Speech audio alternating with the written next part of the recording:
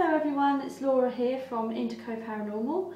I'm just going to do a quick vlog for you today about an upcoming investigation that we have um, at Harwich Redoubt Fort in Essex. Um, I didn't know anything about this place until a couple of weeks ago. Um, don't know a great deal about it now to be honest, um, but I have looked up online and found a little bit of information.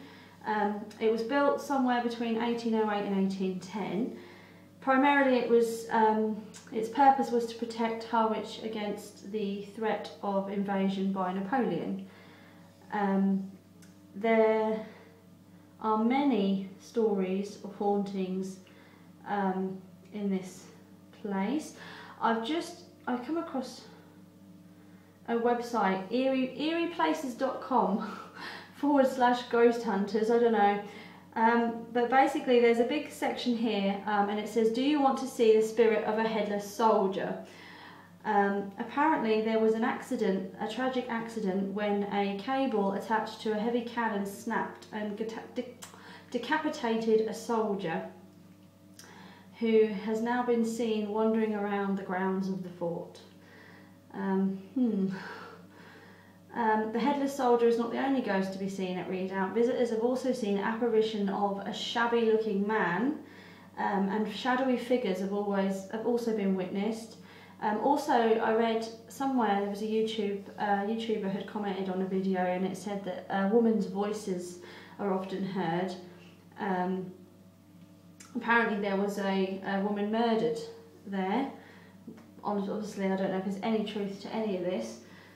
It's all just stuff I've found online. Um, yeah, um, it does say from a paranormal investigator's point of view, Harwich Redoubt Fort is a godsend. So I'm really excited to go there actually. Um, looking at pictures of the place, it does look pretty amazing. Actually, it looks pretty good, impressive.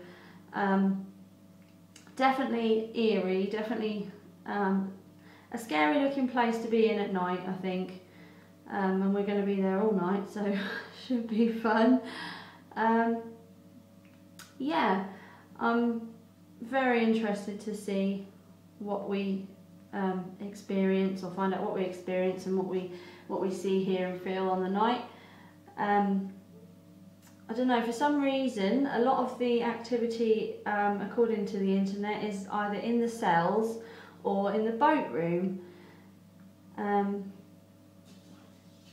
the Hardout fort, the, the Redoubt fort was also um, used during World War II. Um, it was a detention centre for British troop, uh, troops in the war um, as well.